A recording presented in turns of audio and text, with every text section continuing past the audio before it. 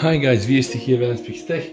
A very short video guys, just about the end of the day, but I think still very important because apparently right now Gary C, who is an Oxygen OS product leader, just revealed some very nice information and peek inside Oxygen OS 11. But why do I say it's a very nice information? Because guys, you are going to realize why in the end people are now saying that the Oxygen OS 11 looks like the One UI. And don't get me wrong, there is nothing bad in copying good things, alright?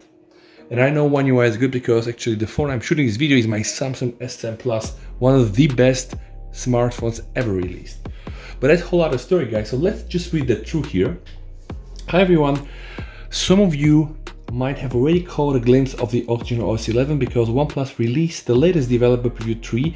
Actually today they released even the developer preview 4 and this comes I think probably weeks before really Google is going to push a final Android 11 to the Pixel devices, right? So it's going to be very very soon where everybody using the OnePlus 8 and 8 Pro, so the 8 series is going to get the final stable Oxygen OS 11. So he's saying, user tested for a, better Android experience. We've always said that stock Android is a good starting point for mobile devices, but we also believe there is a lot we can do to make the experience even better. One important part of the process is user testing, asking user show. We fine tune certain design aspects to improve the experience. And all the while, we apply our burdenless philosophy to improve the overall look and feel. As screens increase in size, so does the unused white space. We wanted to make the most of the space while keeping the interface easy to use, so we've conducted, that's very important guys, A and B testing with our users to determine the best size of the headline and found that 65% prefer slightly smaller headlines. Also, 80% of the users tested preferred titles with subtitles rather than without, and the result is a new headline body hierarchy that streamlines information delivery in Oxygen 11.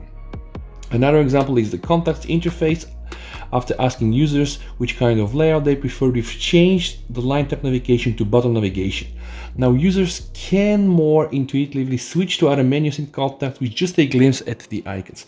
And this here is very, very important. So currently are improving the one-handed efficiency. Now, a lot of people were complaining that the one-handed mode was introduced with some betas for the OnePlus 7 Pro. Then it was, you know, just removed, then back, then removed. But now they have proper testing to prove really that they are going to introduce a one-handed efficiency.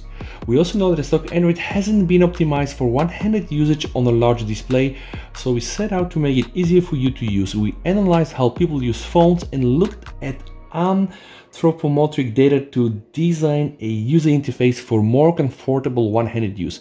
And take a look here, very important. So here they say it's a left-handed user combined or a right-hand user. The natural space, then you have the stretching, and then here where you know is the heart is really where you cannot press. It's almost impossible, or even I have rather like big hands, cannot really go there, you know, with the OnePlus 8 Pro. Since people hold their phones at the bottom, it's naturally more difficult to reach the top of the phone. This hard areas here, guys. The updated layout of Oxygen 11 now moves touch controls closer to the thumbs for easy access as soon as you open the menu. And that's guys what you see here in the latest Oxygen OS 11 and this is why a lot of people were saying yeah you know what now Oxygen OS is becoming one UI maybe maybe there are some similarities but OnePlus are claiming that this will increase efficiency Alright, now there is a very big reason. I don't want to install the developer preview just because it's not yet ready. Really, even the developer preview 4 has some bugs.